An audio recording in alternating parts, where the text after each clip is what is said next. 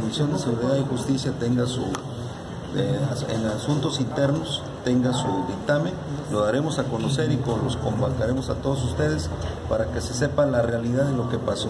De lo que me preguntas, hasta ahorita por violencia tenemos únicamente a los tres anteriores que golpearon al joven que tiene un lote de autos en el que se vio involucrado ahí con lo del perrito que también lo patearon.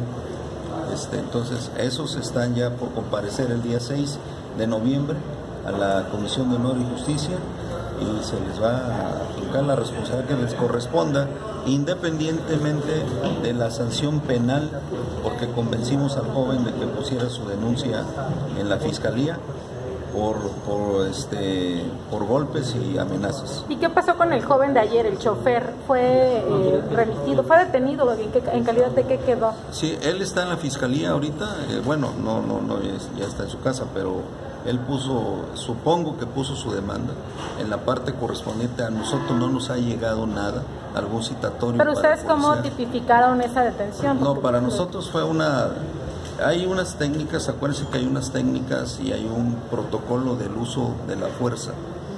Eh, yo lo que sí les puedo decir es que se están analizando los videos.